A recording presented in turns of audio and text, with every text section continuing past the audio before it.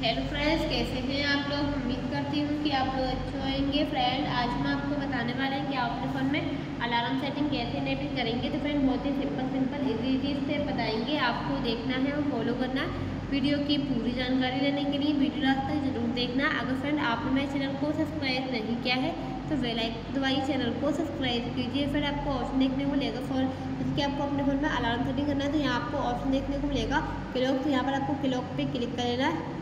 यहाँ पर आपको एप्लीकेशन देखने को मिलेगा क्लॉक। जैसे कि आपको यहाँ पे क्लॉक का ऑप्शन देखने को मिलेगा तो आपको यहाँ पे क्लॉक पे क्लिक कर लेना है।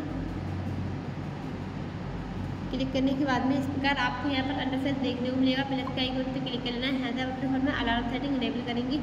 कि आपको आठ बजे का अलार्म सेट करना है तो आपको यहाँ से टाइम सेट कर लेना टाइम सेट करने के बाद में इस प्रकार आप यहाँ से टाइम सेट करेंगे। पी एम एम जो भी रखना आप अपना अकाउंट सेट कर लेंगे। यहाँ से आपको रिपेट पे क्लिक करके कौन सा डे अलार्म इनेबल करना है, आप यहाँ से डे इनेबल कर लेंगे। ओके कर देंगे। और इस प्रकार आपको यहाँ पर अलार्म साउंड चेंज करना है तो आप यहाँ से अपने फ़ोन का अलार्म साउंड चेंज कर सकते हैं। और यहाँ से बैक हो जाना बैक होने के बाद में इस पर क्लिक कर देंगे तो आपके फ़ोन में अलार्म सेटिंग इनेबल हो जाएगा। तो इस प्रकार आप अपने फ़ोन में अलार्म सेटिंग इनेबल करेंगे। आई होप अगर आपको हमारी वीडियो अच्छी लगी हो गाइस तो वीडियो को शेयर करें लाइक करें चैनल पर नए हो तो चैनल को मिलते हैं अपनी नेक्स्ट वीडियो में जब तक के लिए बाय एंड टेक केयर